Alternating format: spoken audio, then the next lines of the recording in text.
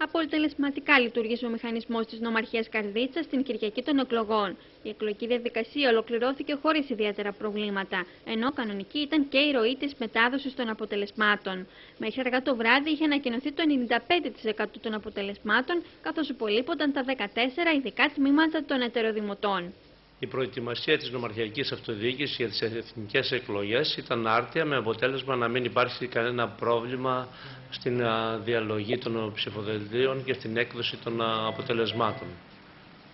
Ήδη από την πρώτη μέρα βγήκαν όλα τα αποτελέσματα όσον αφορά την προτίμηση σε κάθε κόμμα και παραπάνω από το 95% των σταυρών προτίμησαν υποψήφιο χωριστά.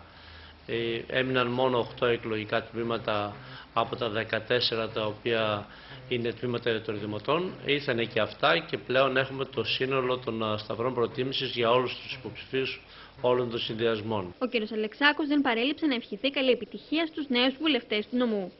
Από την πλευρά μας ως νομαρχιακή αυτοδιοίκηση θέλουμε να συγχαρούμε τους εκλεγέντες βουλευτές και είμαστε βέβαιοι ότι θα έχουμε πολύ καλή συνεργασία στο άμεσο μέλλον, στον κοινό στόχο που έχουμε όλοι μας, που είναι η, αναβάθμιση του νομού Καρδίτσας, να κάνουμε ε, το νομό μας να πάει ακόμα ένα βήμα ψηλότερα, σε συνεργασία και με τους θεσμικούς μας εκπροσώπους στη Βουλή και με τον πρώτο βαθμό αυτοδιοίκησης, αλλά και τους άλλους εκπροσώπους των φορέων του νομού μας.